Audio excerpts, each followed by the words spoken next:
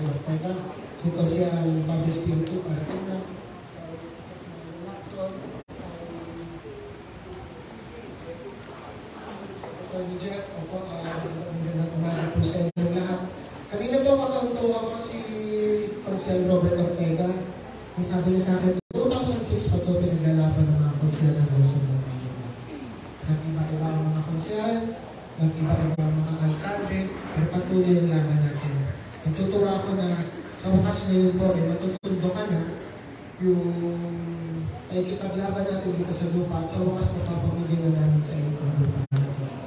So, uh, sana lang po, ilagaan po natin ang lupa na ito dahil uh, pagka po na sa atin na yung mga uh, certificate natin, tandaan po natin ang hirap na dinanas po natin para po mapunta tayo sa puntong dito. At alagaan po natin ang lupa natin. Huwag po natin kaya mapunta tayo sa sitwasyon na nasa alangan ng mga po tayo.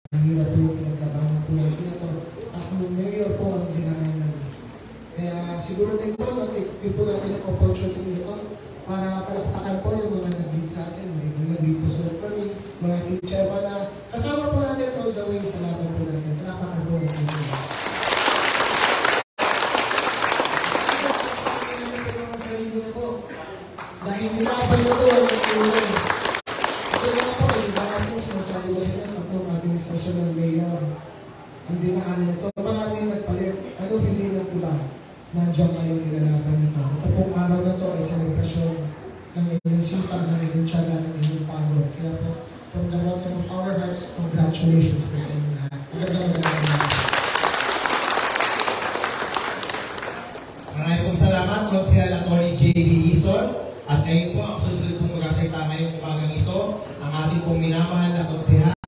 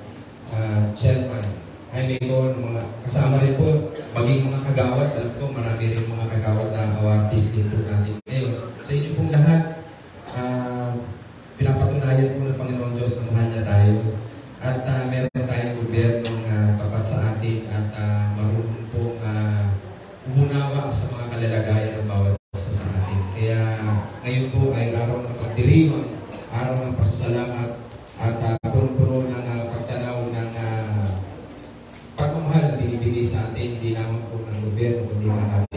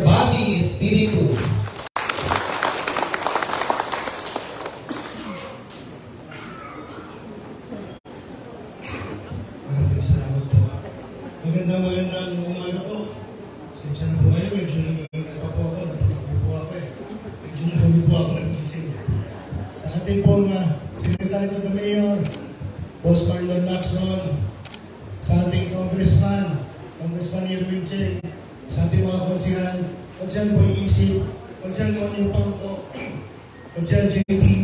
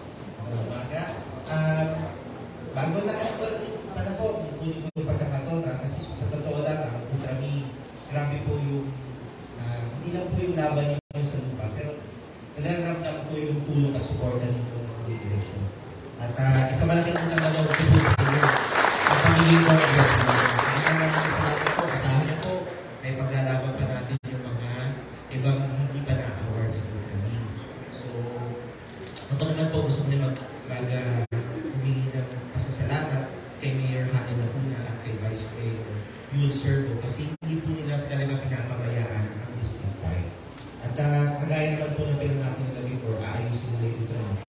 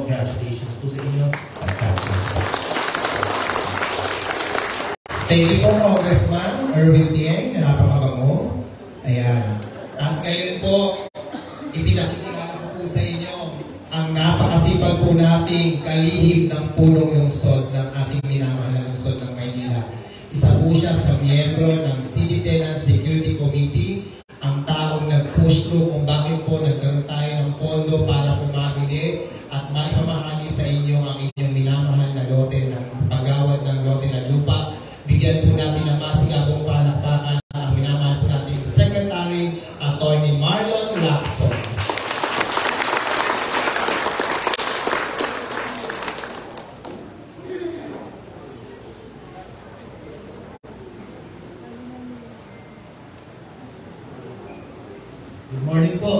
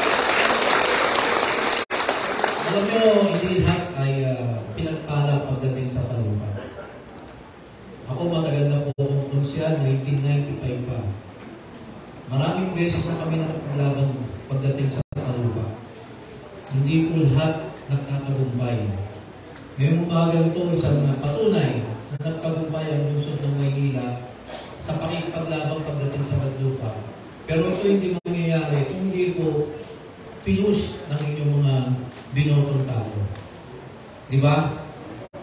Ako, paalala ko lang po sa inyo. Sino tumulong sa inyo?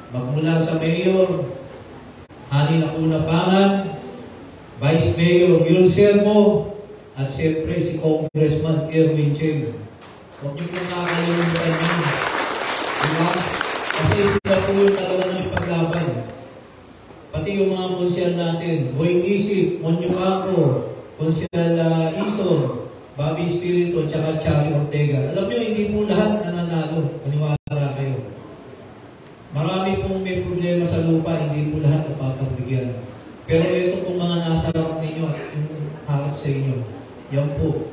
Kaya ako, hindi naman po ako hihingi ng boto ninyo. Pero malakas po sasabihin ko sa inyo, huwag niyong kalimutan sa susunod na eleksyon itong mga tao to. Eh, Pwede ba?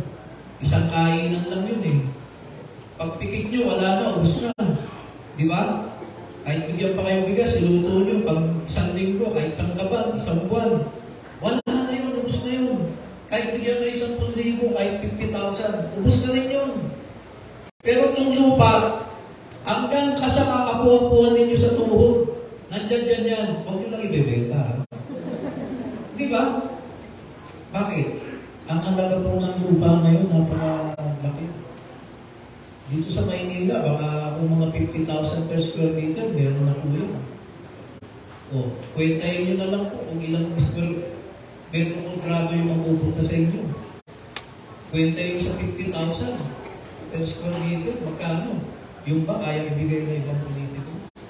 Ito po ibibigay sa inyo ng lungsod ng Maynila dahil po sa mga nasa harap ninyo.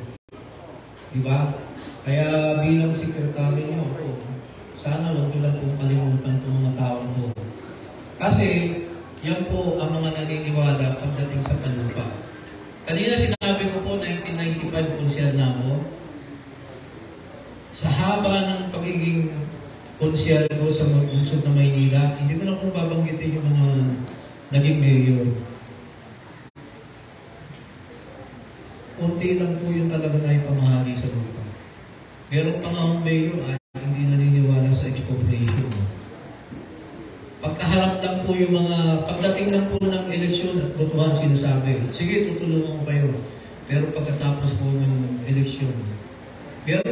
experience ako, ikwento ko, pero hindi ko sabihin ko sino yung mayor.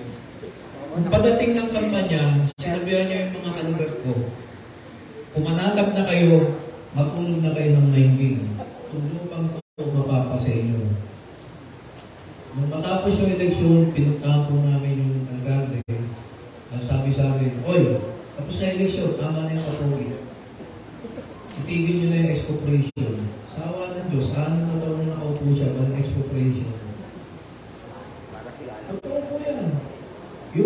kapitbahay ko, lahat po sila natanggal.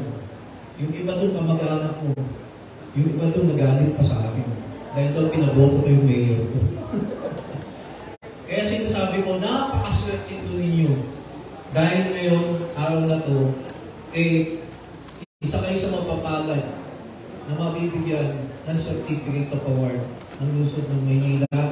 Dahil po, sa mga politikong nasa harap ninyo. Yan po ang mga politikong hindi natakot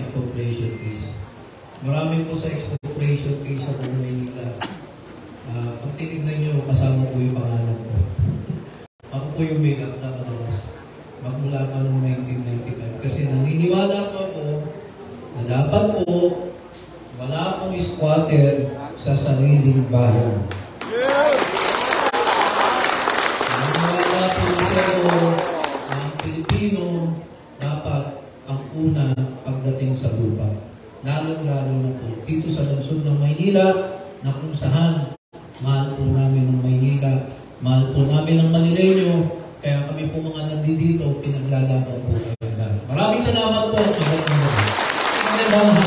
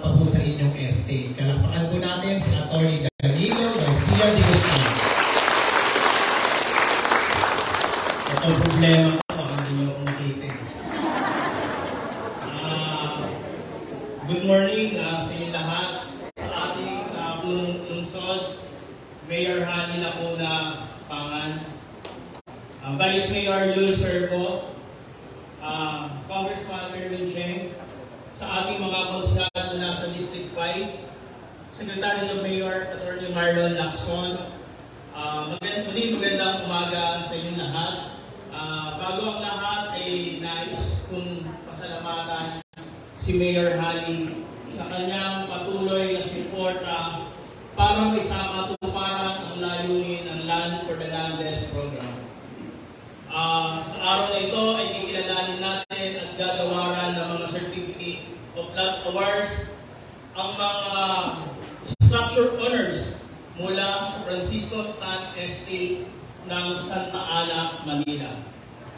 Ah, ito pong ah, first batch ng ating mga awardees ay binubuo ng isandaan at limampung katao.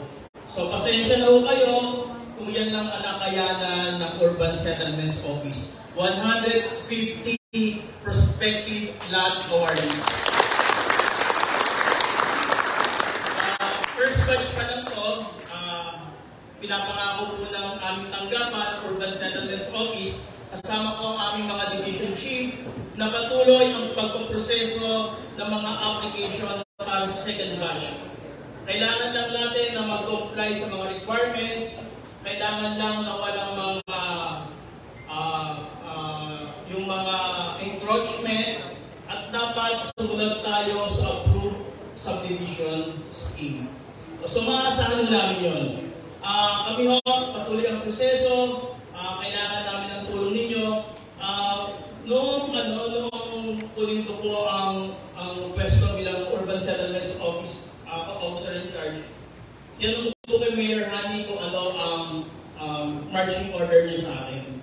Ang sabi niya, ayusin natin ang Urban Settlements Office para sa kapakinabangan ng mga prospective dot awardees. Yun po ang ginawa natin at yun ang patuloy natin gagawin. Ah, isa sa mga official action ko bilang officer in charge ay pumirma sa isang ah, approved subdivision scheme. Mainit po ang pagkatalo ng aming presidente Richard Resuelo dahil siya ay very passionate para sa mga uh, kasapi ng kanyang uh, homeowner association. Pero bagamat naging mainit ang aming ah, diskusyon, wala naman po hindi nare-resolve pa sa patuloy na pag-uusap. Ngayon, kung kayo may mga suliranin, bukas po ang aming tanggapan. Pag-usapan po natin. Muli, maraming maraming salamat po sa inyo lahat. At maraming maraming salamat po kay Mayor Manny.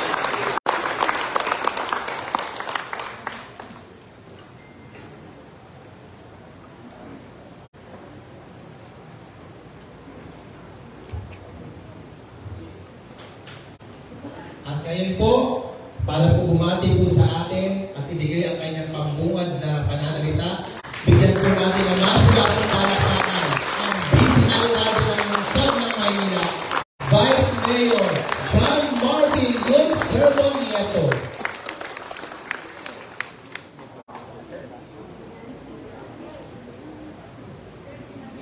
Magandang, magandang uh, tanghali sa mapagpalang tanghali. Magandang tanghali, sir.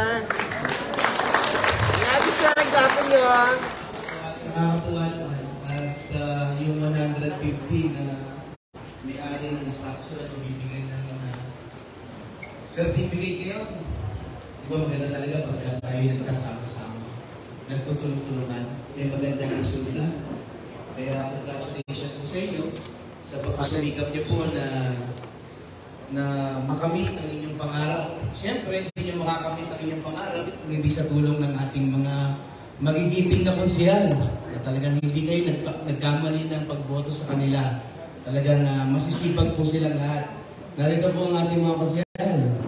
Si Boy Isi. Konsyal ng Campo. Konsyal ng J. Vinson. Konsyal Bobby Spirito. Si Konsyal Charlie Ortega. Maswerte pa kayo. Napakagaling ng congressman niyo. Talagang, uh, talagang hindi, hindi na sayang din ang uh, tiwala, suporta at pagmamahal nyo na binigay kay Congressman Erwin Chen. Di na ka, kita nyo naman yung trabaho niya sa Kongreso. Di ba? Kaya, palakpakan natin, Congressman Erwin. At ang dami nagsulputan ng mga project, no? Nang dami nagsulputan ng mga project na napakaganda. Talagang kapaki-pakinabang ang, bina, ang binaba niya sa Distrito 5. Kaya, um, congrats. At syempre, maswerte tayo, nandito din ang ating uh, napakagaling na Secretary to the Mayor. Narinig yung lahat ng sinabi niya. Basta huwag yung kakalimutan po yung nasa harapan niyo. Talagang yan po yung nagtrabaho ng expropriation. Diba? Sabi ni Secretary sa sampung, sa sampung uh, ginawa niya maganda. Eh, yung pang-11, sana yung pang-11 maganda rin po. Basta pagdating po ng eleksyon, maging po pababayaan yung mga yan. Di ba po? At sa una ko po pa lang bilang OIC ng kanyang departamento, 150 kagad na pamilya o owner ng uh, mga structure ang mabibigyan ng uh, hindi na kayo kakabahan. Kaya palakpakan natin si OIC. Diba?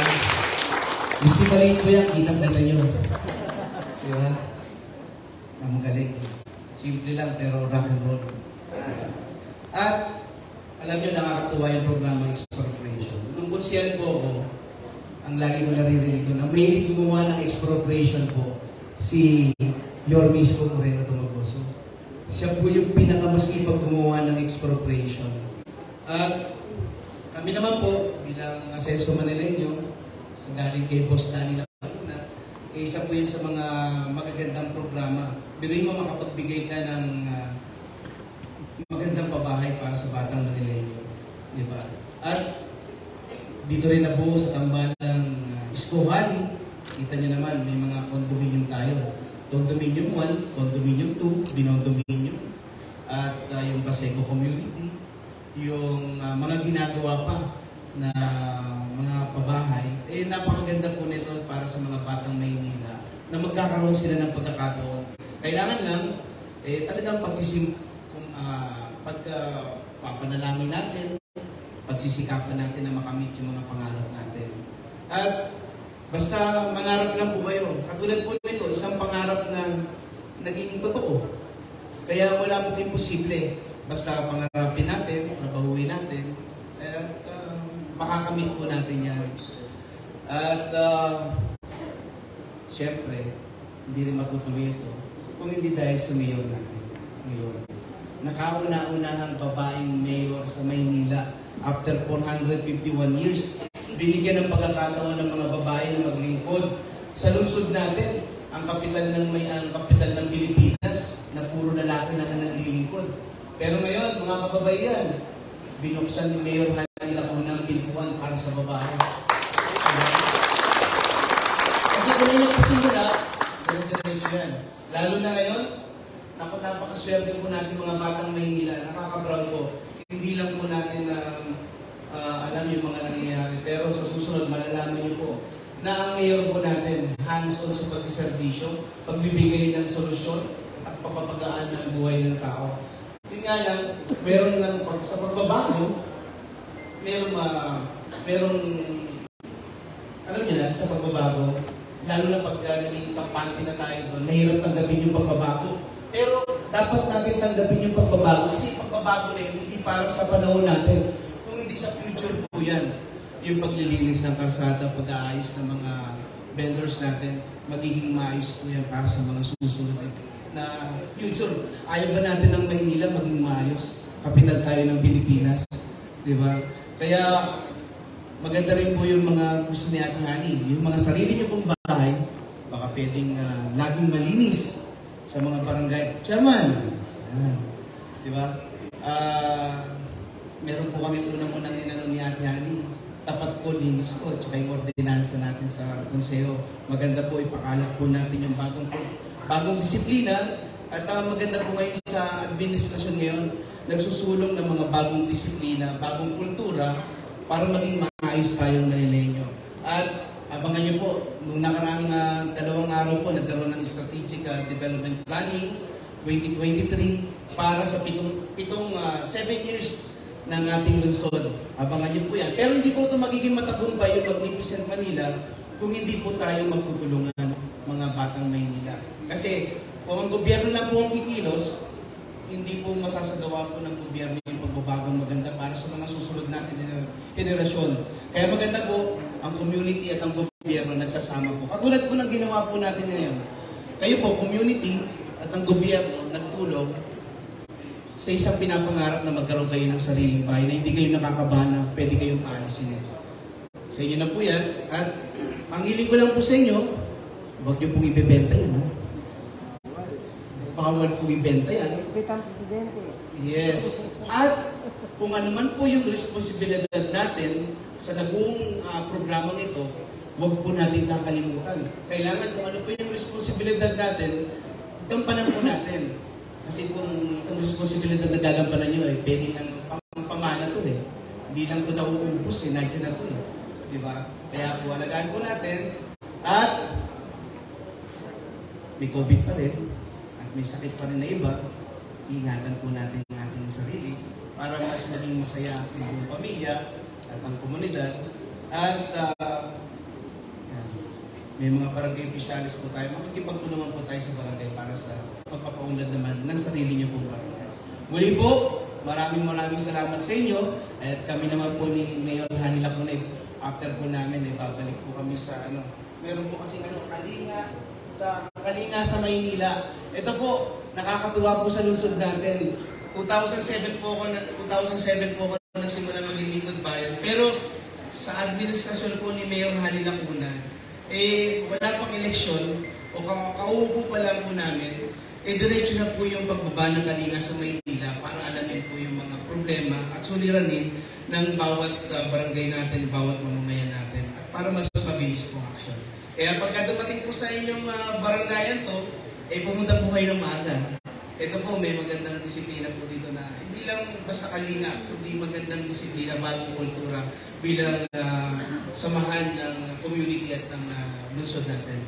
At yun na po, maraming maraming salamat sa inyo lahat. Basta huwag niyo makalimutan, stay safe, stay healthy, stay happy always. Maraming salamat po. Maraming pong salamat, Vice Mayor John Marvin Yules Cerbonieto. At ngayon po, mga minamahal ko pong kadistrito, pasalubungan po natin ang masigabong palakpakan. Ang kauna-unahang babaeng umukit at gumuhit sa kasaysayan bilang kauna-unahang alkalde ng lungsod ng Maynila, ang unang babaeng majority floor leader ng Konseho ng Maynila, ang taong may kalinga at pagmamahal sa ating mga Manilenyo, bigyan po natin ng masigabong palakpakan, Mayora Doktora Maria Sheila Hani Lacuna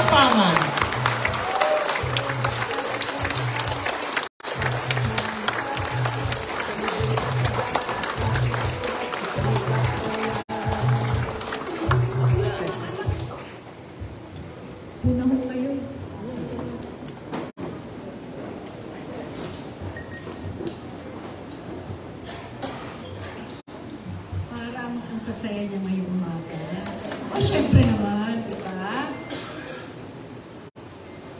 Sa akin pong partner, Vice Mayor Luke Bonito. Sa atin pong kasamahan sa Kongreso, Congressman Erwin Tieng, sa bumubuo po ng mga konsihal ng ikalimang distrito ng Maynila, sa secretary ng aking tanggapan, Attorney Marlon Lacson, sa OIC ng Urban Settlements Office, Attorney Danny T. Guzman, mga kasapi ng City Tenant Security Committee, mga kapwa ko kawani, sa inyo po na bumubuo ng Ultramin sa pamumuno ni Ginoong Richard Resuelo. Good morning. Magandang umaga. Pagkaumanhin ninyo na, medyo ano na ho tayo, maaga pa lang po, gaya na nabanggit ni Vice Mayor Yul Cerbonieto, ay nasa tondo na po kami at isinasagawa ang aming pong lingguhang kalinga sa Maynila. Parang ganun na rin po ngayon ang magaganap sa atin. Ang pagkalinga po ng inyong, lins, ng inyong lungsod sa inyo. Makalipas ng 33 years. Tama ba? 33 years mula nang nasunog ang may 72 pinto ang pinauupahan na pag-aari ni Ginoong Francisco Tan Upa noong January 29, 1990. Siyempre, nandun na po yung inyong kagustuhan na kahit papano magkaroon na kayo ng inyong sariling lupa. Napakarami na pong tao, opisyal ng gobyerno, ang inyong sinubukang kausapin. Ilan po dito kasama natin ngayon? Mga konsihal, congressman, vice mayor, para hingan ng tulong na mapasa inyo na ang kinatitikan ng inyong mga tirahan. Hanggang muli, noong 2020, nasunugan na naman kayo. Tama ba? Malas. Pero swerte pa rin. Bakit? Bakit? Kasi nung panahon na yun, ang dati po nating alkalde, si Yorme Isko Moreno Dumagoso, ay nakausap namin. Hindi po ako nagkakamali, nandun din po ako eh. Doon po. Diba? Na kung saan, gagawa ng paraan na finally, makausap ang may-ari ng lupa kung saan nakatirik ang inyong mga dating tahanan. Mapagkasunduan na na tutulungan kayo ng inyong pamahalaan mapa sa inyo yung lupain na.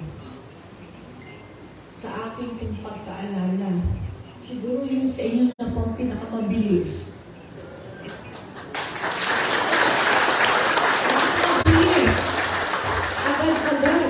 Sinabi ni Yorme, hanapan ng pondo. Hindi po maliit na halaga. Alam niyo po yun. Pero nagawa ng paraan. Di ba?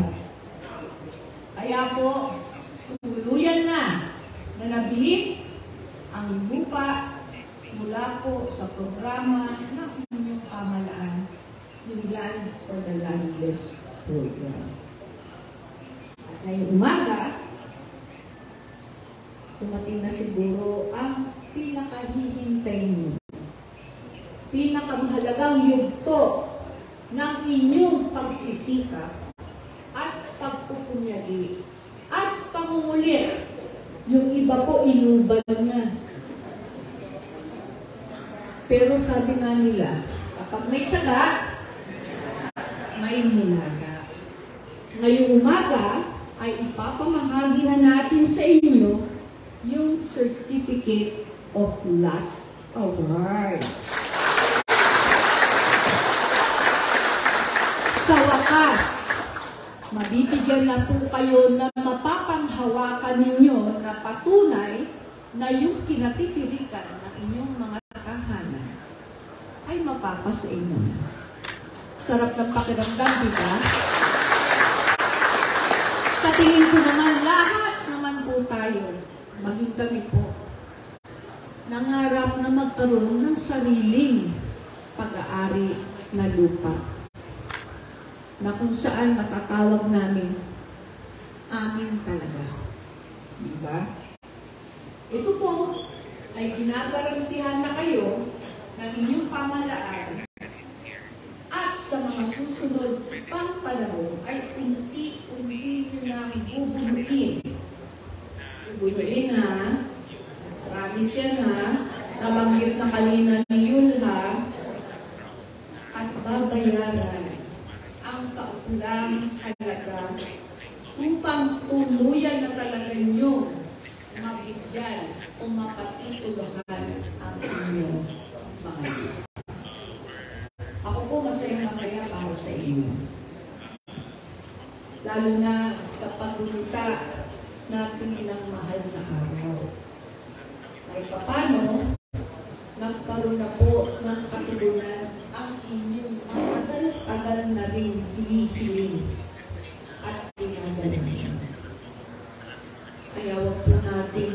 kakalimutan magpasalamat sa Kanya. Higit sa lahat po sa Kanya. Ang inyong pong pamahalaan, instrumento lamang po. At sisikapin po namin sa abot ng aming makakaya na lahat po ng mga kapwa namin Manileño na kagaya ninyo ay mabigyan din po namin sa mga susunod ng panahon na makakawag nila ang sariling kanila. Sa katunayan, pinadadagdagan na po natin, alam naman niyo yan, ang paglalaan ng pondo para sa ating Land for the Landless program. Upang yung iba naman, matugunan din natin, napakarami po ninyo eh, sa totoo lang. Napakarami po ninyo. Kasabay din ito, nabanggit na rin ni Vice Mayor Yulce Bonyeto, ang patuloy natin pagpapatayo ng mga in-city vertical housing. Siguro naman natalitaan na nyo sa Tondo 1, Tondo, Condominium 1, Condominium 2, Condominium, Base Community. At tatlo pa pong itinatayo na hopefully early next year, mabuksan na ng ulan.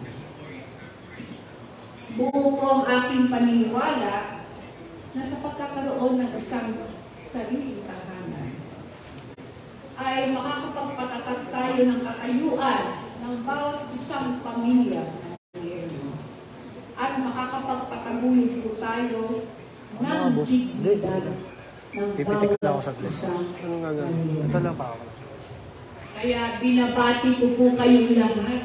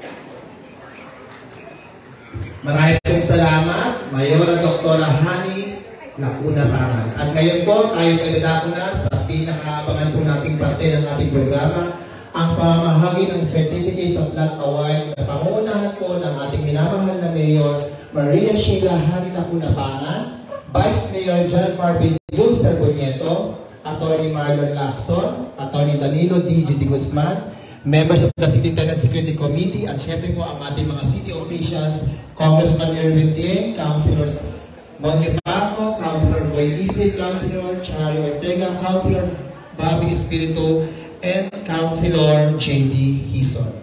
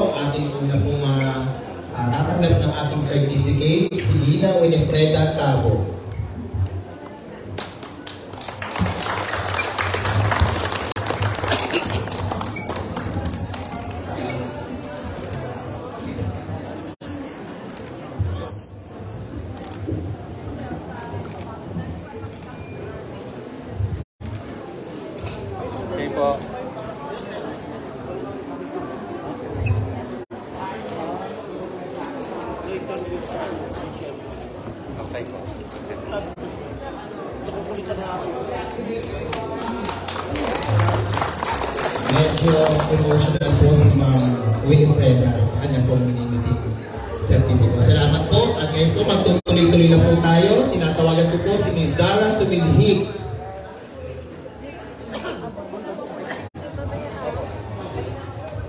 Ma'am Iluminada Abulo.